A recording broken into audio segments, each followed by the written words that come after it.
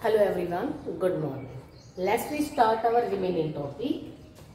External source of recruitment. In our previous video, we have already discussed ठीक है all these methods. It means external source का direct recruitment, factory gate, casual collar, advertising, employment exchange, placement agency and management consultant, campus recruitment. All these methods we have already discussed in our previous video. So today we will discuss remaining these methods. First method recommendation from present employee. It means present employee की recommendation का मतलब सिफारिश से एक नया employ hire करना sometime organization अपने present employee को इनवाइट करती है कि वो अपने किसी रिलेटिव या नॉन पर्सन के नेम ऑर्गेनाइजेशन को प्रोवाइड करे? और अपने प्रजेंट एम्प्लॉय की रिकमेंडेशन से ऑर्गेनाइजेशन एक नया एम्प्लॉय क्या कर लेती है? हायर कर लेती है। बट इफ़ न्यू एम्प्लॉय ने किसी भी टाइप का कोई फ्रॉड कर देता है ऑर्गेनाइजेशन के साथ तो उसके लिए ओल्ड एम्प्लॉय को अकाउंटेबल ठहराया जाता है। क्योंकि उसी की गुडविल पे फेथ करके हमने एक नया एम्प्लॉय क्या किया है? हायर किया फॉर एग्ज़ाम्पल है। हमारे स्कूल में कोई वैकेंसी आ जाती है, ठीक है? मैथ्स की कोई वैकेंसी है तो मैनेजमेंट कहते हैं कि भाई किसी का भी कोई नॉन पर्सन है तो प्लीज़ वो लेके आ सकता है, क्योंकि इमरजेंसी है, अभी हमें इस पोस्ट को क्या करना है? फिल करना है। तब मैं अपने किसी नॉन पर्सन को क्या करती हूँ? बोलती हूँ कि भाई अभी आरपीएस में ना मैथ्स की वैकेंसी है तो आप प्लीज़ क्या करो? अप्लाई करो।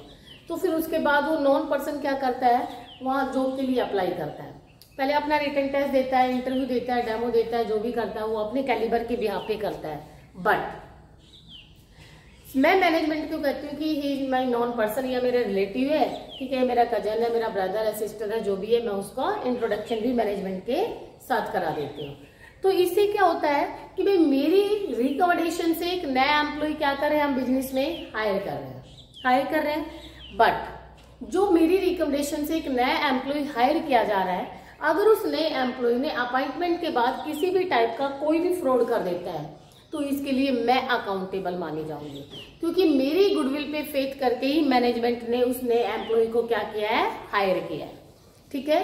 तो इन सच केस में हम ओल्ड एम्प्लॉय की गुडविल बेटर होती है तो ही हम उस उस एम्प्लॉय को इस टाइप के ऑफ़र क्या करते हैं? प्रोवाइड करते हैं। तो नए एम्प्लॉय की गुडविल पर फेथ कर कर हम उसकी रिकमेंडेशन से एक नया एम्प्लॉय क्या कर लेते हैं? हायर कर लेते हैं।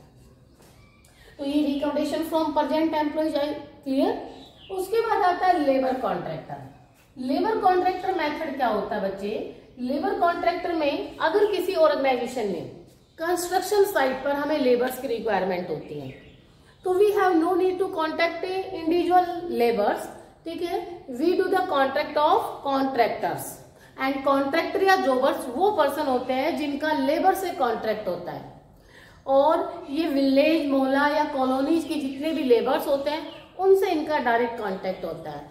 कॉन्ट्रैक्टर हमें क्या करता है? कंस्ट्रक्शन साइट के लिए हमें लेबर अवेलेबल कराता according to our demand but उसके लिए वो अपना कुछ कमीशन हमारे से क्या करता है? चार्ज करता है। तो बेटा, इसका मतलब हमने लेबर हायर किए किसके थ्रू लेबर कॉन्ट्रैक्टर के थ्रू क्योंकि लेबर कॉन्ट्रैक्टर हमारी डिमांड के अकॉर्डिंग हमें लेबर क्या करता है? अवेलेबल कराता है। क्यों? क्योंकि कंस्ट्रक्शन साइट है। मान लो उसमें, मान लो सो लेबर की मुझे ज़रूरत है। अब क्या मैं एक एक लेबर के पास जा जाके कॉन्ट्रैक्ट करूँ नहीं। तो मैं लेबर कॉन्ट्रैक्टर से टाई अप कर लेती हूँ। और लेबर कॉन्ट्रैक्टर या जो जॉबर्स पर्सन है, उनका लिंक होता है वेरियस लेबर से। वो लेबर्स हायर करवाते हैं मुझे, और इस काम के बदले में क्या लेते हैं मेरे से? कुछ फ़ीस या कमीशन चार्ज करते हैं। तो लेबर कॉन्ट्रैक्टर के थ्रू लेबर हायर करना। आप लोगों ने देखा होगा, जब कटाई का टाइम आता है, फ़सल कटाई का टाइम आता है तो भी हमें लेबर्स की ज़रूरत पड़ती है। तो भी लेबर कॉन्ट्रैक्टर्स होते हैं जो हमें लेबर लार्ज स्केल पर प्रोवाइड करते हैं, जिनका बहुत लार्ज स्केल पर फ़ार्मिंग का काम होता है तो उन लोगों को भी इनकी हेल्प की ज़रूरत पड़ती है। ठीक है? और कई बार तो कुछ लेबर कॉन्ट्रैक्टर ऐसे होते हैं जो अपने अंडर में ही लेबर रखते हैं, ठीक है? किसी भी थर्ड पार्टी से टाई अप करते हैं, पैसा इकट्ठा लेते हैं, उनसे काम करवाते हैं और अपने हिसाब से लेबर्स को प्रोवाइड भी कर देते हैं तो वो खुद का भी अपना ऑन लेबर्स रखने स्टार्ट कर देते हैं, ठीक है? तो वो एक दूसरे फॉर्म में आ जाता है और यहाँ लेबर कॉन्ट्रैक्टर सिर्फ़ आपको लेबर अवेलेबल कराएगा और उसके बदले में अपने से क्या आपसे क्या लेता है? चार्ज लेता है फ़ीस लेता है। और दूसरा वाला केस है तो उस केस में जो लेबर कॉन्ट्रैक्टर होता है, वो अपने नीचे लेबर रखता है, ठीक है? कहीं भी किसी भी कंस्ट्रक्शन साइट या कहीं भी लमसम में लेबर्स की अगर ज़रूरत होती है तो हम उससे कॉन्टेक्ट कर लेते हैं। वो अपने लेबर्स को हमें अवेलेबल करा देता है। सारी फ़ीस का जो भी पेमेंट होता है, वो खुद टाई अप करता है ओनर के साथ और जितना पैसा आता है, उसमें से अपने लेबर्स को ठीक है, दे देता है और कुछ अपने प्रॉफिट के लिए भी रख लेता है। तो वो एक अलग टाइप का होता है, लेकिन वो भी लेबर कॉन्ट्रैक्टर ही होता है। वो भी आप इसमें चाहे तो एक्सप्लेन कर सकते हो, कोई प्रॉब्लम नहीं है।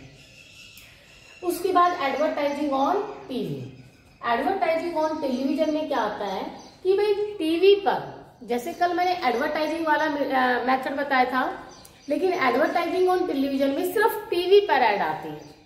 एक पर्टिकुलर चैनल पर हम अपनी रिक्वायरमेंट की एड डिस्प्ले कर देते हैं। उस एड को देखकर भी लोग जॉब के लिए क्या करते हैं? अप्लाई करते हैं।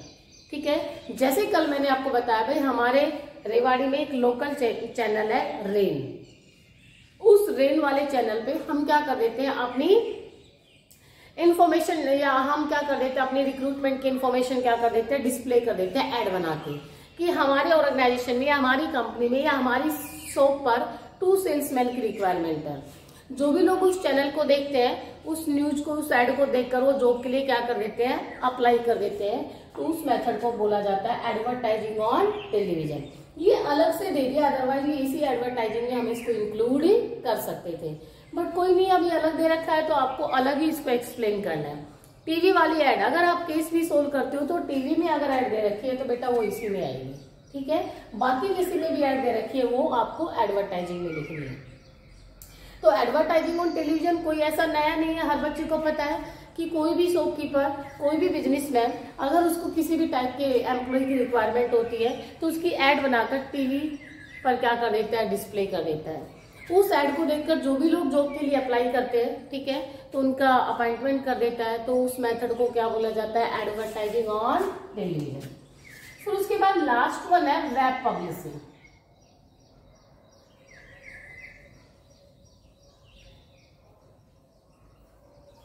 web publishing web publishing का मतलब होता है इंटरनेट के थ्रू एम्प्लॉय हायर करना.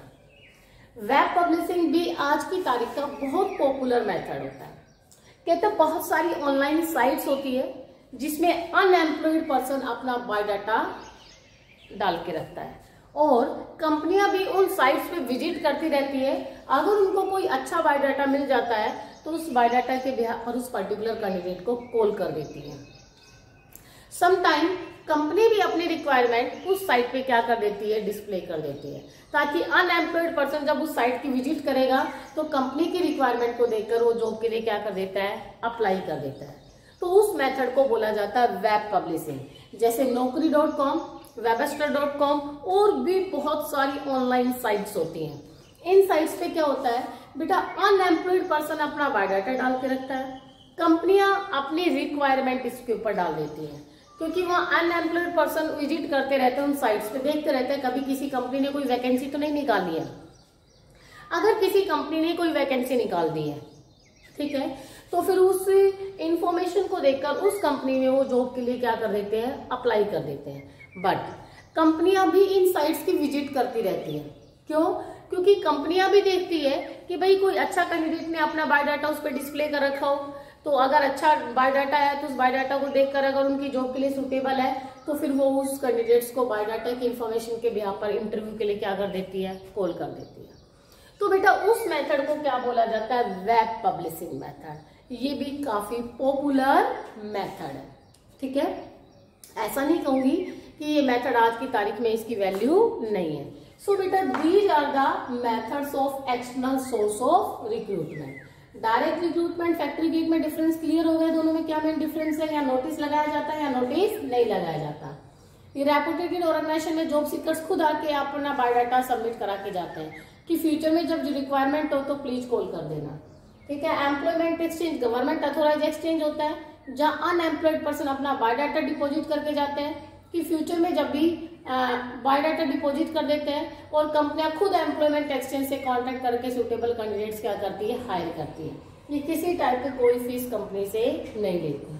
Placement agency and management consultant private authorize exchange होते हैं। इनके पास भी अनएम्प्लॉयड पर्सन का बायोडाटा होता है। कंपनियाँ को जब भी रिक्वायरमेंट होती है तो ये कंपनियों को सुटेबल कैंडिडेट्स अवेलेबल कराते हैं, लेकिन उसके बदले में ये अपना चार्ज लेते हैं फ़ीस लेते हैं। कैंपस रिक्रूटमेंट कहता है कैंपस रिक्रूटमेंट में वो मेथड होता है जब कॉलेज कैंपस में खुद कंपनी आकर अच्छे कैंडिडेट्स को वहाँ से क्या करती है? हायर करती है। और उनको अच्छा पैकेज ऑफ़र करके चले जाते हैं कि जैसे आपका फाइनल ईयर का एग्ज़ाम हो जाए, आप जॉब के लिए क्या कर सकते हो अप्लाई करते हो तो उसको कैंपस रिक्रूटमेंट कहा जाता है।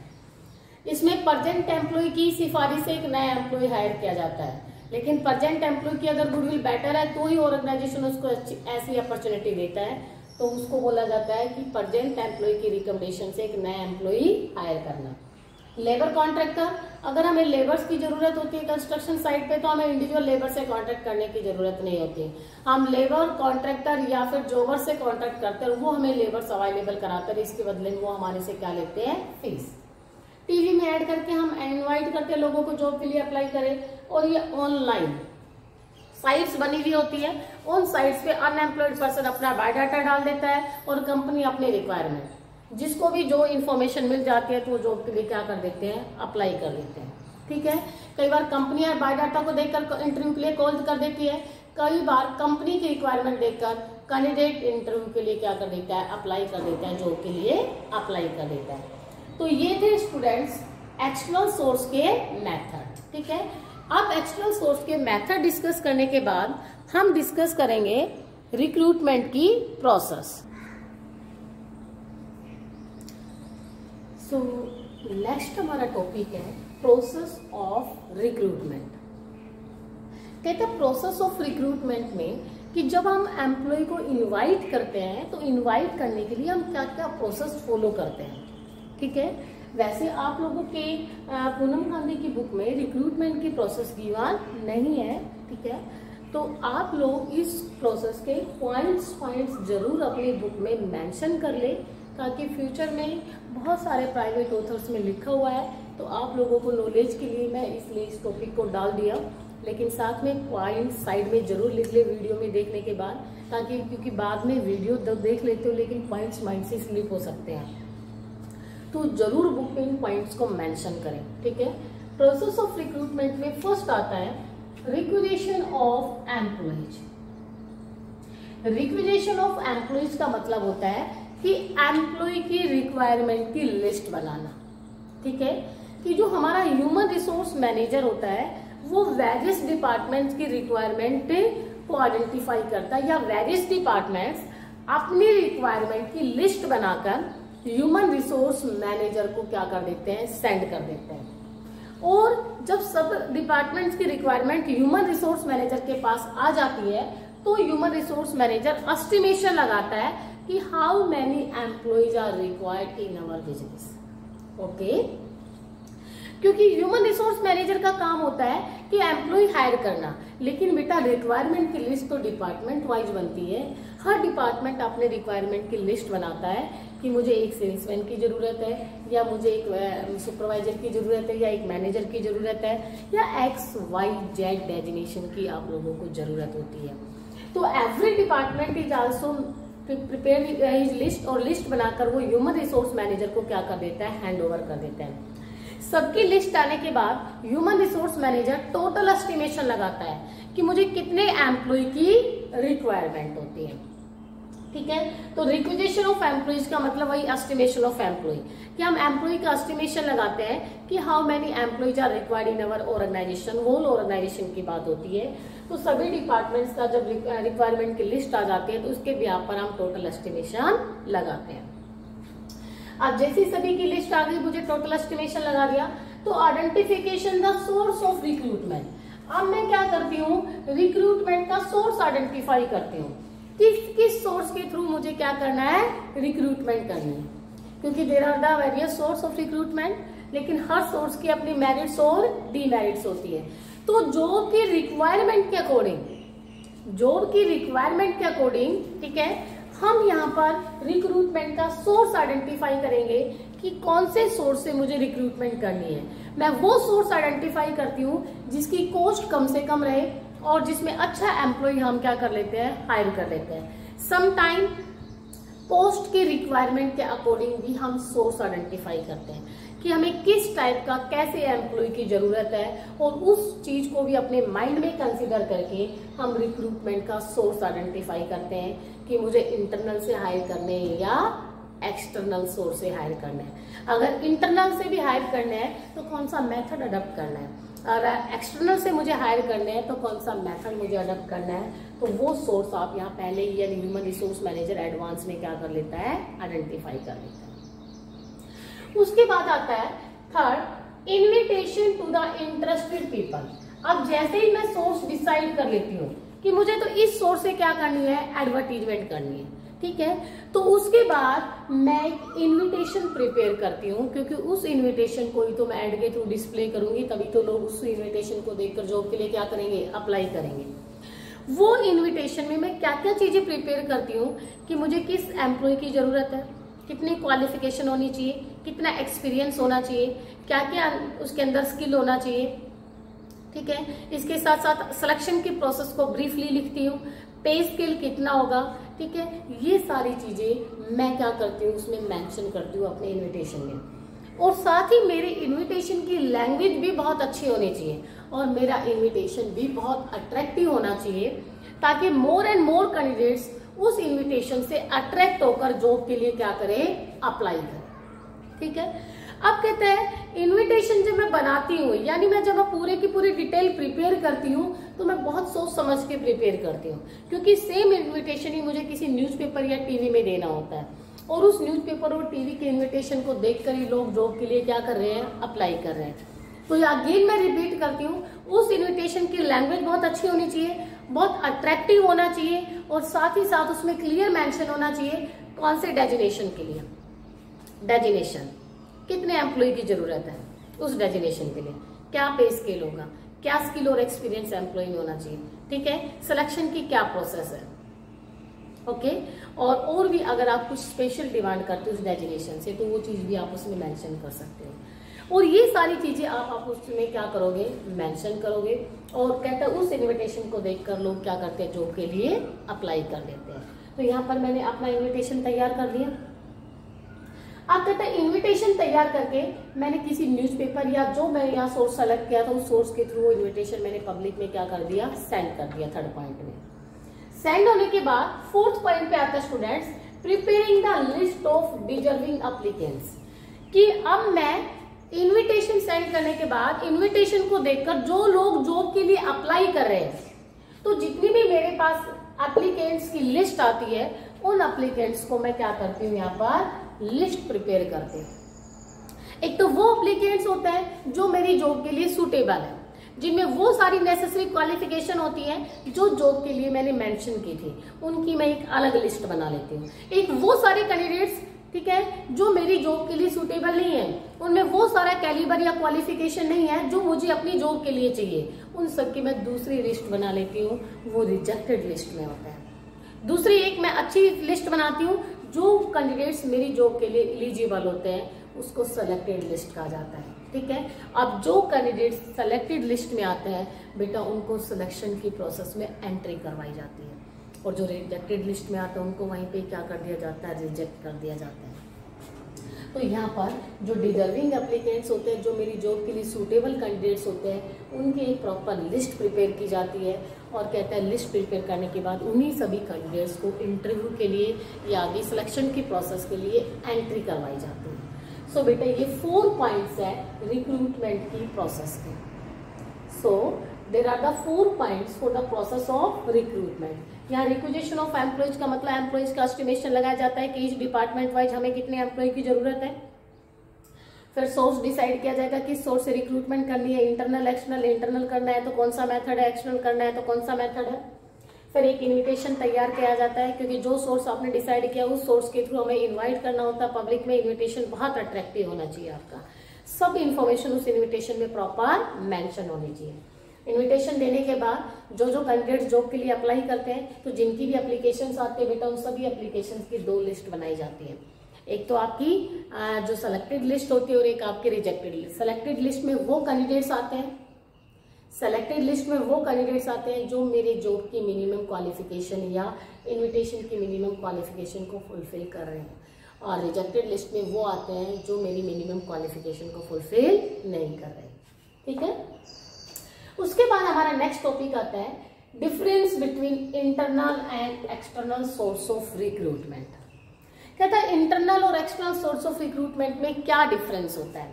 फ़र्स्ट डिफरेंस मीनिंग का आता है। भाई इंटरनल सोर्स में we hire the employees from within our organisation external source में we hire the employees from outside the organisation उसके बाद टाइमिंग के कहता है इंटरनल सोर्स में टाइम क्या लगता है? कम लगता है। क्यों? क्योंकि बिज़नेस के अंदर से ही एम्प्लॉय हायर करना पड़ता है, किसी टाइप की कोई एड वगैरह नहीं होती तो ये कम टाइम लगता है। लेकिन एक्सटर्नल सोर्स जो होता है, वो लॉट ऑफ़ टाइम उसमें कंज्यूम हो जाता है। क्यों? फ़र्स्ट ऑफ़ ऑल आपने एस्टिमेशन लगाना पड़ता है, फिर एडवर्टीजमेंट वगैरह देनी पड़ती है, फिर उनका इंटरव्यू लेना पड़ता है रिटर्न टेस्ट लेना पड़ता है। सो लॉट ऑफ़ टाइम इसमें क्या हो जाता है? हमारा कंज्यूम हो जाता है। उसके बाद इकोनॉमी भाई इंटरनल सोर्स आपका इकोनॉमिकल है, सस्ता पड़ता है। उसमें बहुत सारा एक्सपेंस कोई इंक्योर नहीं होता बिज़नेस के अंदर से ही एम्प्लॉय हम हायर डेजिनेशन पे क्या कर देते हैं शिफ्ट कर देते हैं। लेकिन एक्सटर्नल जो सोर्स होता है, वो आपका इकोनॉमिकल नहीं है कॉस्टली पड़ता है। क्योंकि उसमें एड वगैरह देनी पड़ती है, साथ ही एम्प्लॉय को हायर करने के लिए सिलेक्शन करने के लिए एक सिलेक्शन कमेटी बनानी पड़ती है। उसको भी पेमेंट करना पड़ता है सो काफ़ी कॉस्टली होता है। उसके बाद आता है क्वालिटी देखो इंटरनल सोर्स की क्वालिटी बहुत अच्छी नहीं है। क्योंकि यह लिमिटेड चॉइस है और लिमिटेड चॉइस में बहुत कैलिबर रखने वाले या बहुत अच्छा एम्प्लॉयज़ आप हायर नहीं कर पाते हैं। लेकिन एक्सटर्नल सोर्स की क्वालिटी ज़्यादा बेटर है, क्योंकि उसमें वाइडर चॉइस होती है। वाइडर चॉइस का मतलब एक पर्सन को सेलेक्ट करने के लिए वन थाउज़ेंड में से किसी एक को सेलेक्ट किया जाता है। वहाँ पाँच में से किसी एक को सेलेक्ट किया जाता है। तो इंटरनल जो सोर्स होता है, उसकी क्वालिटी ज़्यादा बेटर है, ठीक है? इंटरनल सोर्स जो होता है, उसकी क्वालिटी ज़्यादा बेटर नहीं है सॉरी क्यों? क्योंकि उसमें लिमिटेड चॉइस है। लेकिन एक्सटर्नल सोर्स की क्वालिटी ज़्यादा बेटर है। क्वालिटी का मतलब ज़्यादा अच्छी क्वालिटी का एम्प्लॉय हम हायर कर सकते हैं, क्योंकि वह वाइडर चॉइस है। मोरल ऑफ़ द एम्प्लॉयज़ कहता है we hire the employees from within our organisation then existing employees का मोरल इंक्रीज हो जाता है। मोटिवेट होते हैं, क्योंकि उनके अंदर एक फीलिंग क्रिएट हो जाती है। If we perform the better work in our organisation then definitely हम क्या करेंगे? प्रमोट होंगे। तो उनका एग्जिस्टिंग एम्प्लॉयज़ की जो वर्क फोर्स है या एग्जिस्टिंग एम्प्लॉयज़ है, वो मोटिवेट हो जाते हैं, उनका मोराल अप हो जाता है। लेकिन एक्सटर्नल सोर्स में एग्जिस्टिंग जो वर्कफोर्स होती है, उनका मोरल अप होने की बजाय क्या हो जाता है? डाउन हो जाता है। वो मोटिवेट होने की बजाय डीमोटिवेट हो जाते हैं। उनके अंदर एक फीलिंग आ जाती है चाहे कितना भी बेटर वर्क परफॉर्म करो, तब भी हमें प्रमोशन नहीं मिलेगा। ऑर्गेनाइजेशन बाहर से क्या करेगा? हायर करेगा। ठीक है? सो बेटा these are the difference between internal source and external source अब आपका एक टॉपिक रिक्रूटमेंट का खत्म। यानी स्टाफिंग के थ्री एलिमेंट्स है रिक्रूटमेंट सिलेक्शन एंड ट्रेनिंग तो मैंने रिक्रूटमेंट वाला जो एलिमेंट है, वो आपका पूरा का पूरा क्या हो गया, आज मैंने वाइंड अप कर दिया, ठीक है? क्यों? क्योंकि रिक्रूटमेंट का मीनिंग उसके दोनों सोर्स उसके दोनों सोर्स के मेथड्स दोनों सोर्स में डिफरेंस रिक्रूटमेंट की प्रोसेस ठीक है? कल की जो, यानी जो हमारी नेक्स्ट वीडियो आएगी उसमें हम अपना टॉपिक स्टार्ट करेंगे second element selection what do mean by the selection explain its process ठीक है? आई होप आप लोगों को बहुत अच्छे से ये अंडरस्टैंड हो गया होगा। रिक्रूटमेंट में किसी भी टाइप का रिक्रूटमेंट एलिमेंट में किसी भी टाइप का कोई भी डाउट है प्लीज़ स्टूडेंट्स ज़रूर मैसेज के थ्रू अपने प्रॉब्लम मेरे से शेयर करें। Thank you students have a nice day